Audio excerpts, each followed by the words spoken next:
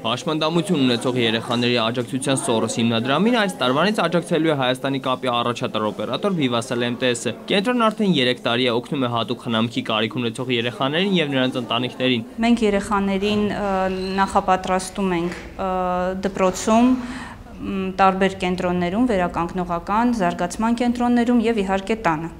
Հիմնադրամը ոլորտի առաջատար կազմակերպությունների ու մասնագետների օգնությամբ 2016 թվականի ընթացքում կազմակերպել է մասնագիտական վերապատրաստման 51 դասընթաց։ 50 մասնագետից 15-ը որպես հիմնական աշխատող եւ 5-ը որպես փոխարինող արդեն մտել են 32 ընտանիք։ Նրանք 8 ժամ խնամում են երեխաներին, զբաղեցնում նրան եւ զարգացնում մանկական հմտությունները բացի ինձանից նա սկսեց ուտել ծուտերի մոտ։ Տարիներով դա խնդիր է եղել, հրաժարվել է երեխան որովիցե մեկի ձեռքից ուտել։ Չնայած նրան, որ շատ շփող երեխա է, իր օրակարգում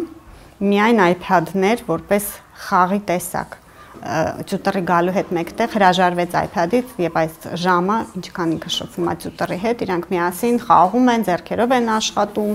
դասա process-ն է իրանց մոտ շատ հետաքրքիր Հիմնադրամի տնօրեն Մարինա Պարազյանի խոսքով մանկավարժ օգնականների եւ համակարգող հատուկ մասնագետների թիմը երեխաներին օգնելու է կարճ ժամանակահատվածում ինքնադրսևորվել։ Նրանց մայրերն էլ ազատ ժամանակ են գտել ու կարողացել են աշխատել։ Անհատական օգնականները եւ նեղ մասնագիտական եւ բժշկական որոշ գիտելիքներ ունեն, որոնց շնորհիվ կարողանում են լիարժեք խնամել անչափահասներին։ Աղվան Ասոյան, ժամը լրատվական։